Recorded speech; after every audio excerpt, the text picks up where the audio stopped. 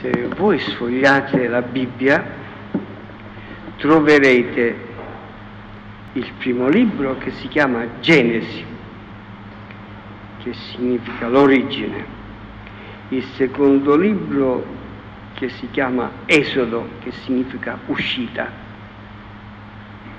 il terzo libro che si chiama Levitico, che è il libro delle leggi che il Signore ha stabilito per eh, il suo popolo, poi c'è il libro dei numeri, perché comincia con un elenco lungo, lungo, lungo di tutte le tribù del popolo, poi c'è il Deuteronomio, che significa la seconda legge, perché vengono ripetuti i dieci comandamenti, e poi ci sono alcuni libri che si chiamano profetici.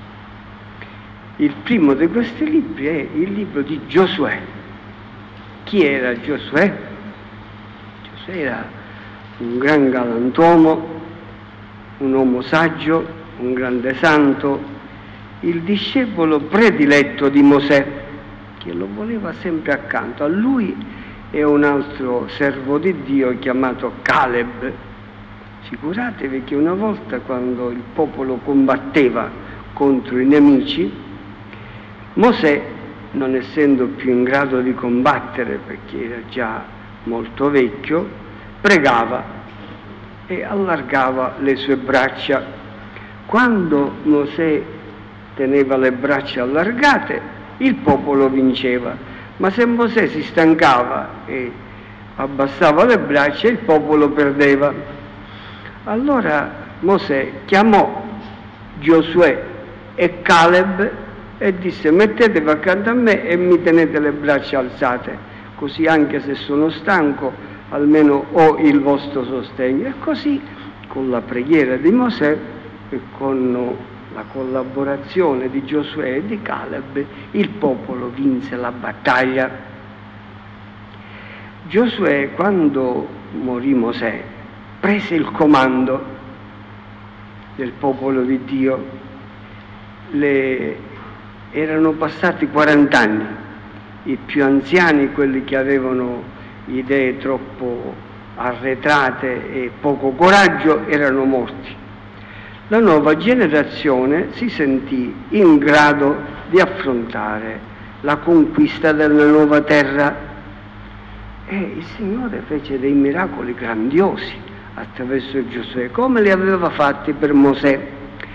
Se voi vi doveste leggere, io ve lo consiglio come compito per casa, il libro di Giosuè, vi accorgereste quanti miracoli Dio ha fatto con quest'uomo che era vicino a Dio e parlava con Dio come Mosè. Uno di questi miracoli, simile a quello che era successo a Mosè, quando aveva aperto con il suo bastone le, l'acqua del Mare Rosso ed erano passate a piede asciutto tutti gli ebrei, adesso bisognava passare per arrivare nella nuova terra che il Signore aveva destinato il fiume Giordano. Il fiume Giordano percorre tutta la Palestina, a cominciare dal monte Hermon dove sorge tutto lungo tutta la Palestina, tutta, tutta, tutta, e va a scaricarsi nel mare morto e bagna tante terre. Fiume Giordano è ancora un grande fiume, è il fiume dove Gesù fu battezzato. Chi dovesse andare in Terra Santa, io ci sono stato un paio di volte, è possibile bagnarsi con le acque del fiume Giordano dove fu battezzato Gesù. Quella volta le acque non è che un fiumiciattolo di questi che si possono guardare a piedi tranquillamente, ma magari saltando da una pietra all'altra, no, un fiume, se voi lo vedete, ma forse alla televisione l'avete visto, che è largo quanto un lago ed è alto quanto può essere alta, diciamo così, una zona del mare da due metri a tre metri, eh, profondo quindi non si può passare. Giosuè, pregando il Signore, fece allargare le acque del fiume Giordano e tutti passarono tranquillamente attraverso il fiume Giordano. Però, attenzione, Giosuè fece andare avanti, prima ancora di passare, l'arca dell'alleanza. Che cos'era l'arca dell'alleanza? Era una specie di piccola vara dove dentro c'era nascosto la, le tavole con i dieci comandamenti che Dio aveva scritto.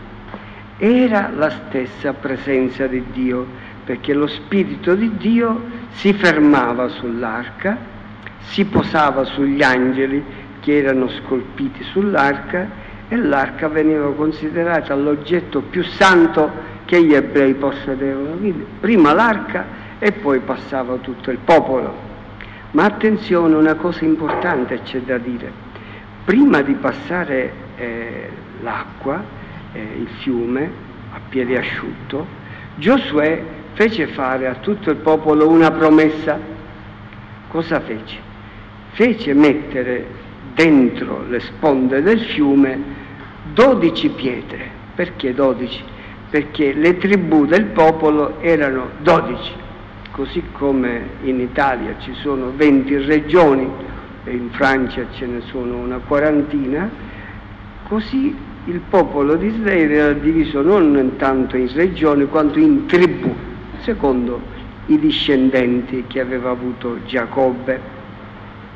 Dodici pietre rappresentavano tutto il popolo. Giosuè fece giurare a tutto il popolo che avrebbero osservato tutti e dieci comandamenti di Dio il Signore vi darà una terra, disse Giosuè, dove scorre latte e miele. Voleva dire una terra meravigliosa dove si potevano raccogliere dei frutti bellissimi.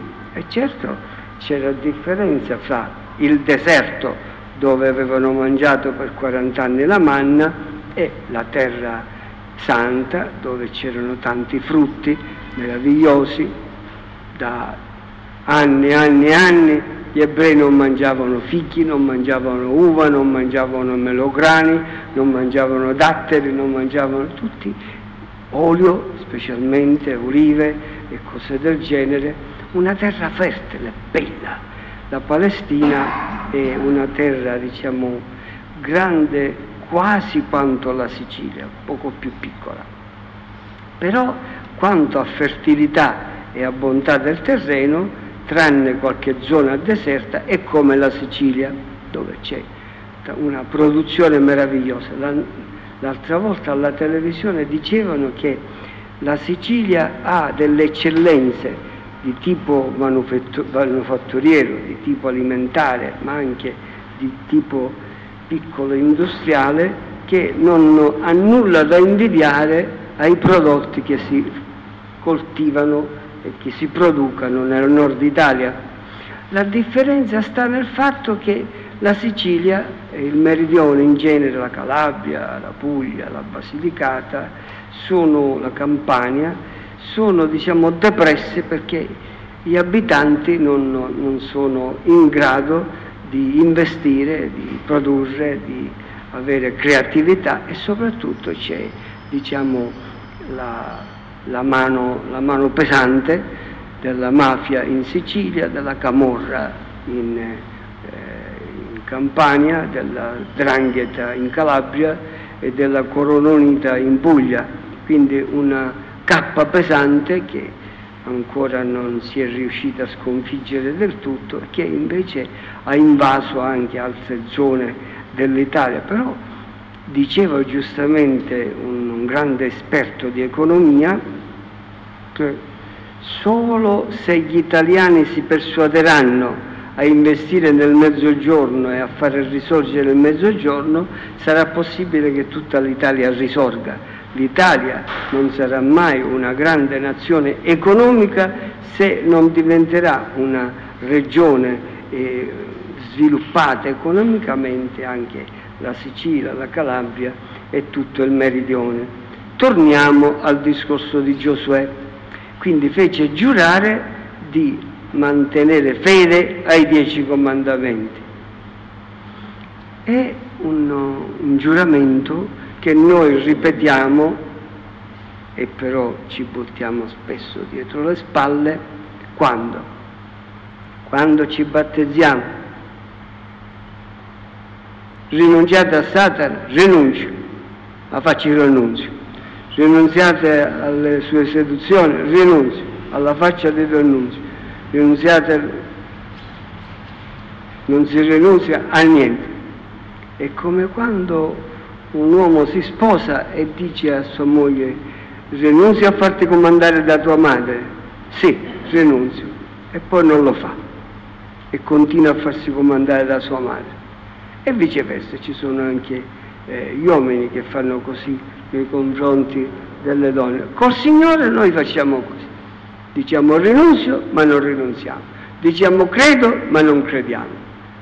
Se uno dice io credo in Dio Padre Onnipotente, che cosa significa? Che Dio è la prima realtà della propria vita, che tutto il resto viene dopo Dio, il denaro, lo svago, la proprietà, il mare, tutto quello che esiste sulla terra viene dopo Dio, prima Dio, dicevano gli antichi, e poi padre e madre. Ora, così come gli antichi ebrei giurarono di mantenere ferma la parola di Dio, ma non mantennero il giuramento, lo stesso facciamo noi. Però così come gli antichi ebrei furono praticamente travolti dalle potenze nemiche, dalle potenze straniere e da popolo destinato a governare il mondo è diventato un piccolo popolo scomparso sulla faccia della terra per secoli e secoli e secoli. Gli ebrei sono stati dispersi in mezzo a tutti i popoli, lo sapete per quanto tempo? Dall'anno 120, mm, scusate, sì, 121, quando fu sconfitto l'ultimo eh, residuo dell'esercito degli ebrei che si erano ribellati a Roma fino al 1948, quando fu ricostituito il regno di Israele, che adesso c'è il regno, la Repubblica di Israele, che adesso c'è, però ancora non riconoscono il Signore Gesù come Salvatore dell'umanità. E quindi siamo in attesa di questo riconoscimento ma noi cattolici non facciamo molto per aiutarli a capire che devono camminare lungo le vie che portano a Gesù Cristo. Perché? Perché ci comportiamo male. Non è che i cattolici siamo migliori degli ebrei per il nostro comportamento, per nostro, eh, le nostre scelte. Per... Prova ne sia, avete visto piangere alcuni contadini stamattina mi sono veramente venute le lacrime agli occhi una, una signora che eh, gli, era, gli, era, morto un bue, eh, aveva avuto un, bruciato dal, dal fuoco la sua casa, ho perso tutto e chi mi aiuta adesso? Il fuoco è, eh, diciamo, è prodotto da, dalla volontà umana perché c'è gente che brucia apposta. Per quali motivi?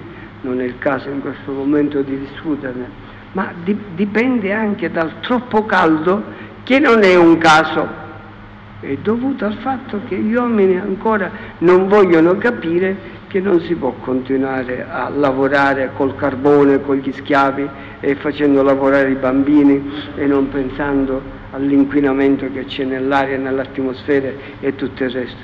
Se gli uomini si convertono la terra resterà il giardino di Dio. Se gli uomini non si convertono, la terra diventerà un deserto. Tocca a noi la scelta. Dio ha gettato, diciamo così, il guanto di sfida, siamo noi che dobbiamo ascoltare la parola di Dio, tenere conto di quello che Dio ci dice e, e mettere da parte qualsiasi cosa pur di servire Dio e andare dietro i comandamenti di Dio.